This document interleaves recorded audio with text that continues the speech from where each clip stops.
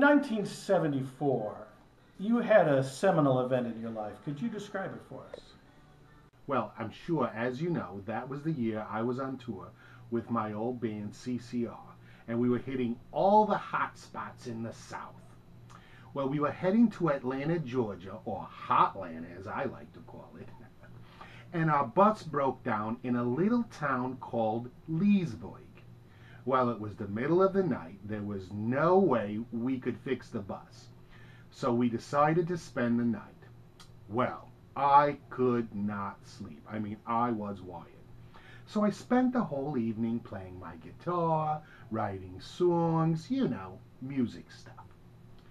In the morning, when the sun came up, I decided, whoa, I have to get outside. So I went down the street and I got some breakfast. On the way back to the motel, I saw a little pawn shop.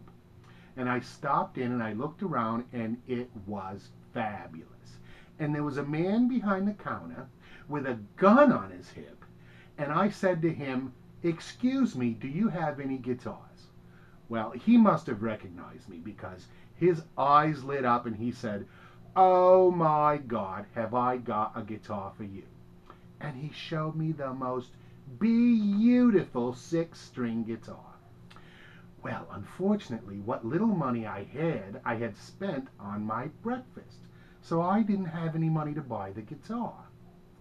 And he said to me, You know what? It's a gift. It would be an honor if you took this guitar. And I looked him in the eye and I said to him, I'll take this guitar on one condition. If you ever have a son, I want you to name him after yourself.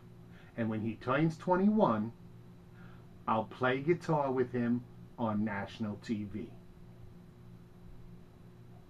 True story.